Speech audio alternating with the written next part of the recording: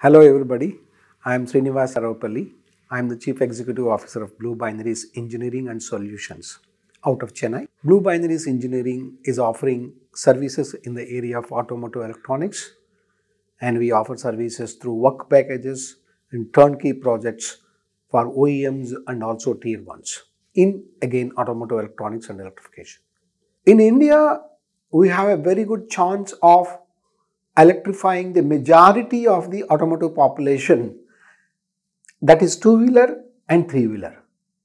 You know, India is the largest market of two wheeler worldwide and uh, to the extent of almost 21 million two wheelers have been produced in 2018-19 time period and that's about 2.1 crore vehicles a year.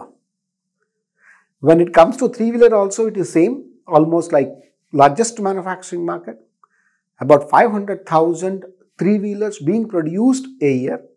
It's a quite a sizable amount of the market size and electrification of two wheeler and three wheeler is going to be relatively an easier task compared to four wheeler passenger cars and SUVs as you know because uh, of the reasons uh, one being the range anxiety not being there, two the complexities associated with the higher and higher voltages not being there, three it is more suited from a cost of ownership and cost of economics point of view as the petrol prices are going beyond 110 rupees a liter in some cities now this is going to be the most economical mobility option for Indian consumer.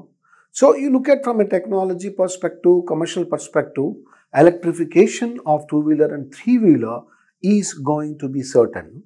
And with that, the overall industry has to get up, has to catch up to meet up this electrification demand. That's importantly the vehicle manufacturers. Hundreds of startups have already come in to produce electric scooters, electric three-wheelers and also small pickups, delivery vans, so on and so forth. Now, to produce these many vehicles, we also need to have the technology.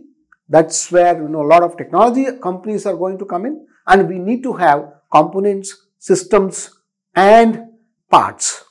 So, to supply the components, parts and systems, quite a lot of existing tier 1, tier 2 automotive companies are also switching over to electrification and they need quite a lot of engineers with electric vehicle background, with electrification skill set in the industry to catch up to the need. Therefore, Cloudkampus with their courses, I'm sure they'll be able to catch up to the required demand by upskilling the talent in the industry, by giving the right capability and right skill sets for the engineers in India to serve the electric vehicle industry. Hoping, hoping that all, with all these efforts, overall industry, especially electric vehicle industry in India will catch up. All the best. Thank you.